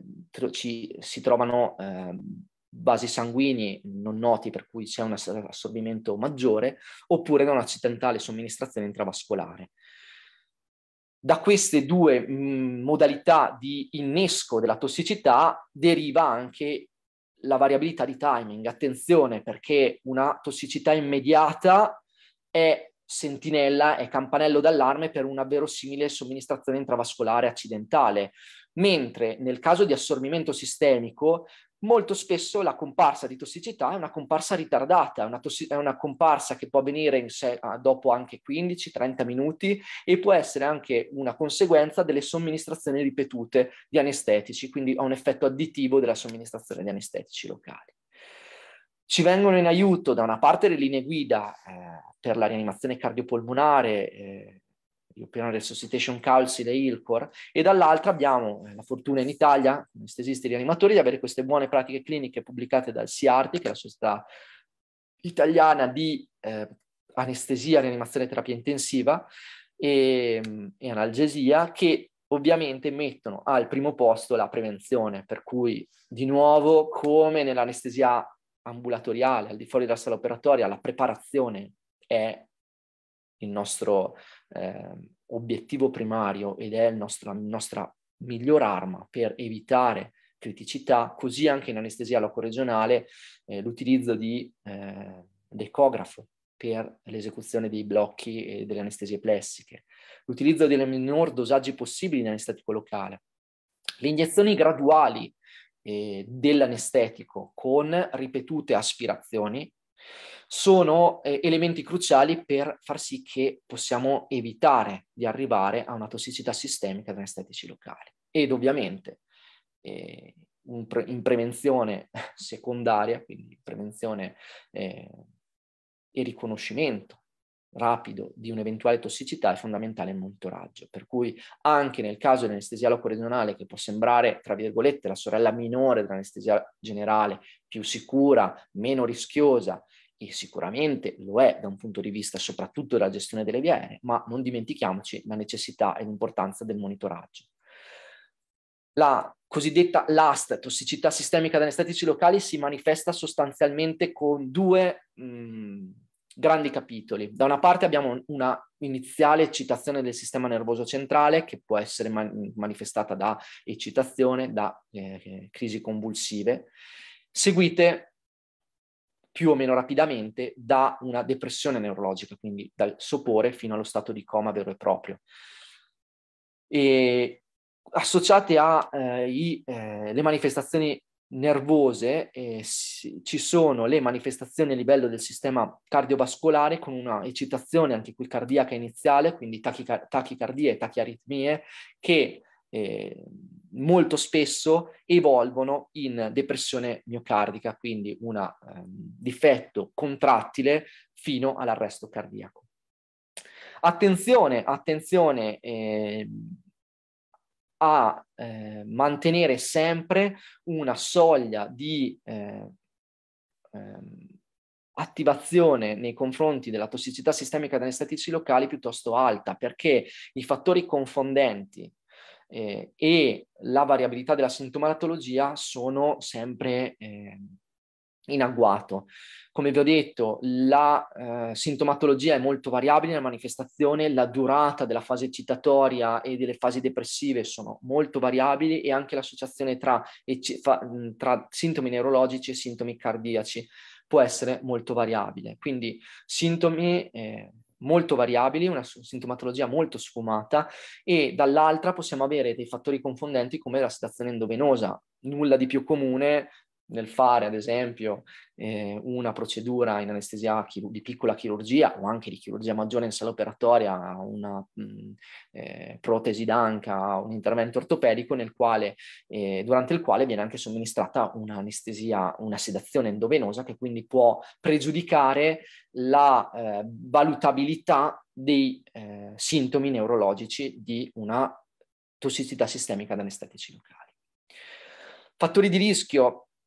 sono dei fattori molto generali, sicuramente l'età estreme, quindi i bimbi, i bambini, l'età pediatrica e eh, il grande anziano eh, sono molto a rischio e eh, malattie che, coinvolga, che, coinvolgano gli organi emuntori e soprattutto eh, il fegato che è impor- molto importante nella clearance degli anestetici locali,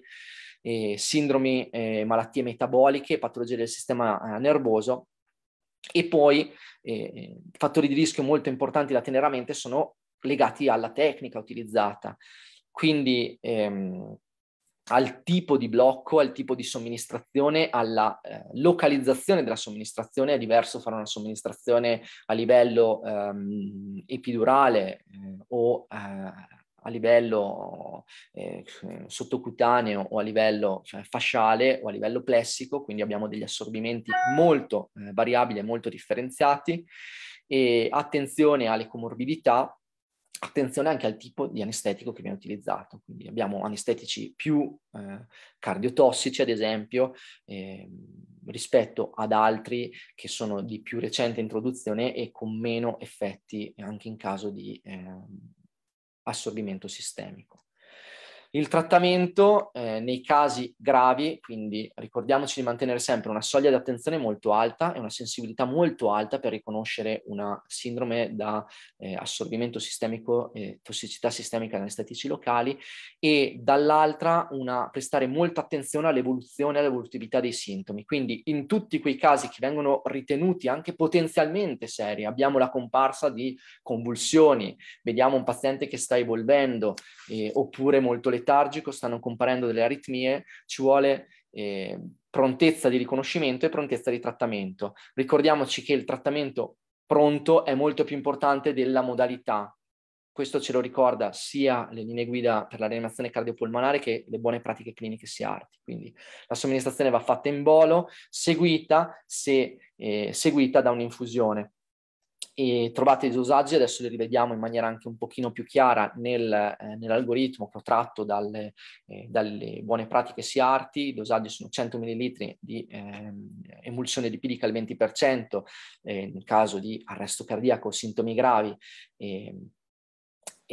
somministrazione endovenosa in bolo in 2-3 minuti, 100 ml se il paziente è più di 70 kg oppure 1,5 ml pro chilo nei casi di pazienti pediatrici o con peso minore di 70 kg, seguiti da un'infusione endovenosa in 15-20 minuti di di nuovo 200-250 ml se il paziente è superiore ai 70 kg, 0,25 ml chilo al minuto nei casi di pazienti eh, al di sotto dei 20 kg. Valutare al termine di bola infusione, del primo bola infusione, la stabilità emodinamica ed eventualmente ripetere, continuare un'infusione, ripetere un'infusione per altri 10 minuti. È importantissimo mantenere in osservazione questi pazienti ed è eh, importante ricordare anche la dose massima è raccomandata nella prima fase, quindi bolo e infusione iniziali, che non deve superare i 12 ml pro chilo. Concludendo, credo che le due, eh, i, le due parole chiavi mh, per condurre in sicurezza eh, un'anestesia al di fuori della sala operatoria e utilizzare anestetici locali siano avere strumenti di monitoraggio, avere una formazione adeguata per interpretarli e avere una formazione adeguata per rispondere alle crisi. E dall'altra mantenere sempre un'alta soglia di sospetto e di attenzione sia riguardo alle criticità del paziente in anestesia, sedazione generale, al di fuori della sala operatoria. Ricordiamoci che siamo sempre in un ambiente sfavorevole, non siamo in casa nostra, non siamo in una sala operatoria dove tutto è organizzato e tutto è a disposizione, ma siamo in un ambiente, tra virgolette, anche qui ostile, come lo è la strada, come lo è eh, la montagna o i laghi. E nei casi di utilizzo degli anestetici locali ritorniamo di nuovo, monitoraggio e prevenzione e mantenere sempre un'elevata soglia di sospetto. Nei casi di arresto cardiaco va poi ricordato che eh, non vi sono delle sostanziali modifiche all'algoritmi universali di BLS e LS, se non la somministrazione della, ehm, della emulsione lipidica al 20%, che va fatta non appena abbiamo comparsa di sintomi gravi e è da tenere presente la possibile non responsabilità alle manovre rianimatorie e nei casi in cui eh, lo si ritenga opportuno e vi sia la, disp- la, disponibilità e vanno prese in considerazione metodiche avanzate di rianimazione come l'utilizzo di compressori meccanici per sostenere il circolo ed arrivare fino al supporto eh, meccanico extracorporeo con eh, l'ECMO e quindi la circolazione extracorporea ehm, per permettere la, ehm, l'eliminazione degli anestetici locali e quindi il ripristino di un circolo spontaneo. Vi ringrazio e vi ricordo ancora la possibilità di inviare eh, il vostro abstract entro il 20 di novembre eh, per eh, il nostro congresso a Rimini, 16, 17, 18 dicembre. Grazie Grazie a te Alberto, grazie ancora per la relazione molto, molto interessante e molto utile a tutti, perché tutti cioè, spesso ci troviamo coinvolti in questo tipo di procedure. E mentre ti facciamo riprendere fiato, ti ringrazio ancora per aver organizzato questi webinar e mentre riprendi fiato e pensi a cosa dobbiamo fare nei prossimi minuti, ringrazio tutti i relatori di questo webinar, eh, ringrazio loro, ringrazio i moderatori e le loro interessantissime relazioni vi porto i saluti a nome del direttivo e del presidente Giuseppe Ristagno, direttivo che si avvia alle ultime settimane di, di, di, di carica e, e, poi ci ricaricheremo con un nuovo direttivo. E, voglio però ringraziare anche la segreteria IRC per l'assistenza la, eh, tecnica, in particolare Matteo Limardi che ci sta sostenendo eh, in, in, questi collegamenti. Adesso che ho fatto tutti i ringraziamenti, ehm, vi ricordo, abbiamo, siamo alla soglia delle due ore di webinar, quindi credo che saremo tutti abbastanza eh, pieni di nozioni eh, pieni di informazioni e che se avete eh, domande, forse non abbiamo tempo di vederle e leggerle oggi, ma eh, c'è la possibilità sempre che o eh, già questa sera o se rivedrete questo webinar nei giorni prossimi le possiate inviare alla segreteria sarà nostra cura e piacere cercare di dare delle risposte. Alberto, dimmi se ho dimenticato che ho fatto sicuramente qualcosa o qualcuno. No, sei stato perfetto, grazie, grazie a te Andrea, grazie veramente a tutti, a tutti i relatori, ai moderatori di oggi e vabbè, mi concedo mentre prendo fiato e riordino le idee, eh, ringrazio anche tutti i moderatori e i relatori delle, di, quattro, di, questi quattro webinar tematici. È stata un'avventura, devo dire, organizzarli, ma è stato veramente molto piacevole. Eh, ringrazio anche la famiglia che mi ha lasciato la casa quattro volte libera eh, dai schiamazzi delle bambine. E mh, mm, ringrazio ovviamente la segreteria di IRC e Matteo che mi ha supportato e supportato nell'organizzazione eh, aggiornando e sistemando poster e, e, e programmi in tempo reale e quindi a questo punto sto guardando in tempo reale Facebook dove abbiamo fatto veramente bravissimi a tutti un grande successo, non abbiamo in questo momento domande. E, um, ne ho una eh, io che non so, siamo in, in extremis coi tempi, ma poi eh, lascio, visto che ho scritto tavola rotonda, avevo queste personalità eh, questa volta, past, past president, past past president, e speravo anche il president, ma ci ha, non ci ha potuto eh, accompagnare oggi per impegni universitari, istituzionali. E la domanda è questa, e Federico, Andrea, ma anche Alessandro, che hai, che hai potuto toccare con mano con la tua survey la situazione degli ospedali italiani.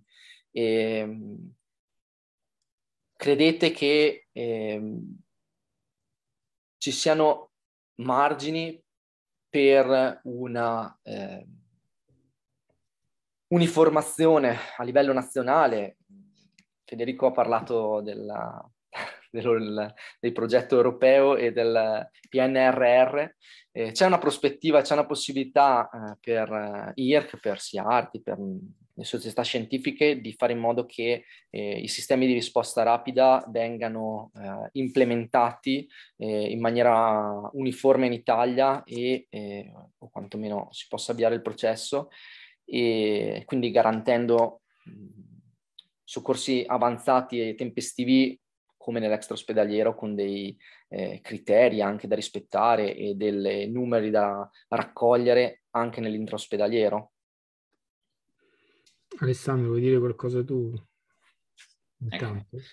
Sì, eh, grazie per, per questa precisazione. Io credo assolutamente sì. Non che ci siano delle possibilità, ma che ci debbano essere delle possibilità e sarebbe bello che appunto società scientifiche come citavi tu, IRC,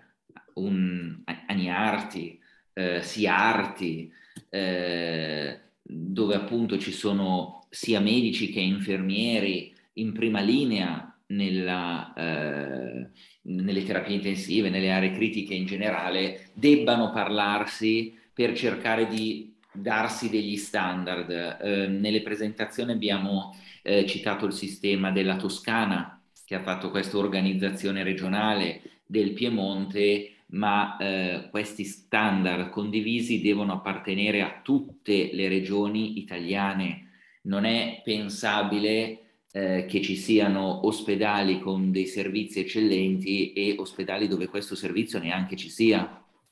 Noi non abbiamo avuto tempo di analizzare eh, dei singoli, eh, delle singole realtà, ci sono posti dove ad esempio il servizio di emergenza c'è solo in alcune fasce orarie, ci sono posti appunto dove i medici si staccano, stanno via tutto il giorno, tutta la notte, come diceva anche Stefano, ma queste, queste cose non, non, possono accadere, anche perché è già sbagliato se eh, la rianimazione rimane scoperta per un giorno all'anno, però uno dice è successo un giorno all'anno, ma in un posto dove ci sono chiamate tutti i giorni e in cui il personale è chiamato ad andare o nei reparti o nel pronto soccorso, questa cosa non può essere la realtà. L'altra cosa è sui numeri.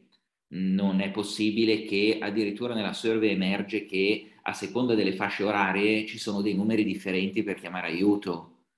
E sto pensando a con l'elevato turnover del personale che c'è stato soprattutto negli ultimi anni, ma non è pensabile che uno a seconda anche del giorno dell'ospedale, della fascia oraria, possa ricordarsi il numero per l'emergenza da chiamare. Il numero dell'emergenza intraospedaliera deve essere come il numero dell'emergenza extra ospedaliero. In tutta Italia stiamo arrivando a questo 112, c'era il 118, bene, e per l'emergenza intraospedaliera deve esserci un,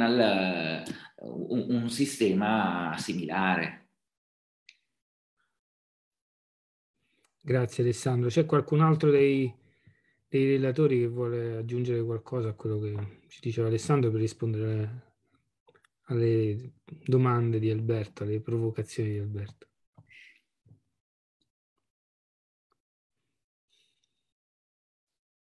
Fatemi coraggio, eh? so che... Posso, ah, posso intervenire io? Vai, vai. No, in realtà eh, l'occasione di questo webinar mi ha un po' stimolato anche perché noi a livello regionale, diciamo siamo in Campania, io lavoro in Campania, abbiamo una realtà eh, ospedaliera pediatrica dove è chiaramente centralizzata al Santo Bono, ma con tante eh, specialistiche pediatriche che non sono ben collegate. Quindi io ho colto questa occasione anche per eh, prendere innanzitutto consapevolezza della tematica, di cui chiaramente ero eh, sicuramente già eh, a conoscenza, però approfondirla e rendersi conto di come eh, si può intervenire eh, sulla prevenzione e, e in ambito pediatrico che è una realtà particolare,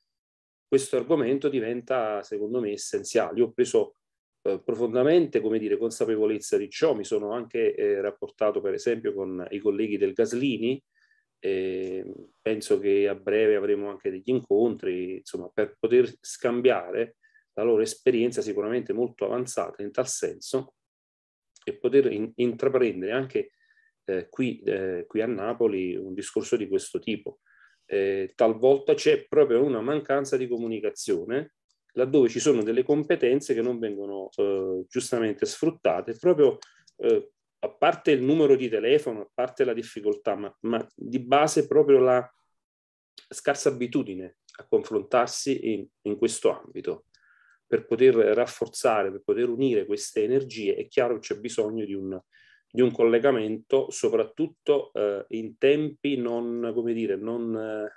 non, difficili come quelli che stiamo vivendo, ma è una necessità, quindi faremo di necessità e virtù e nel mio piccolo spero di poter dare un contributo in tal senso. Eh, mi auguro anche con, con, con Stefano di poter eh, come dire, anche scambiare un po' di informazioni in tal senso per unire un pochino queste, eh, queste energie, queste eh, consapevolezze.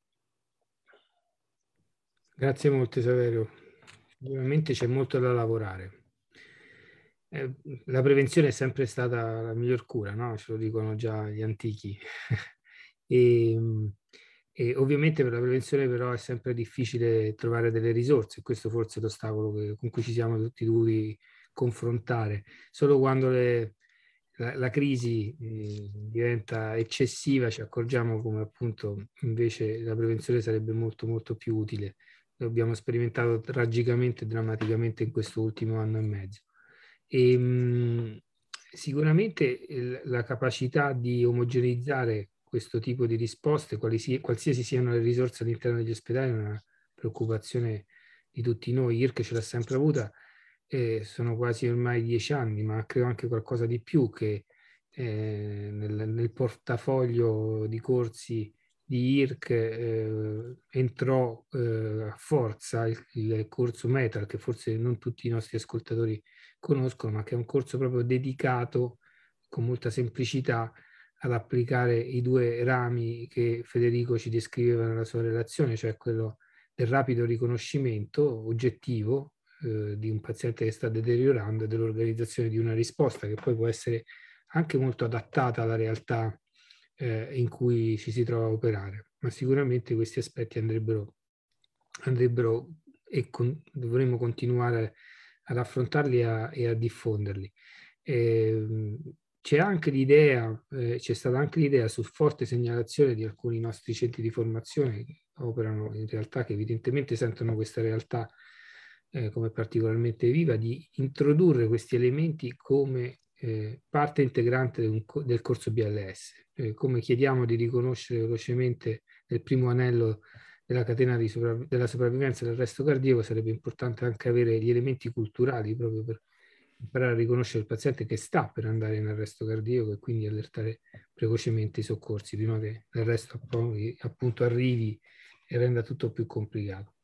Quindi sicuramente l'esigenza di, di fare qualcosa di più a questo livello c'è, non solo noi, eh, chi, chi, tra gli anestesisti ci sta ascoltando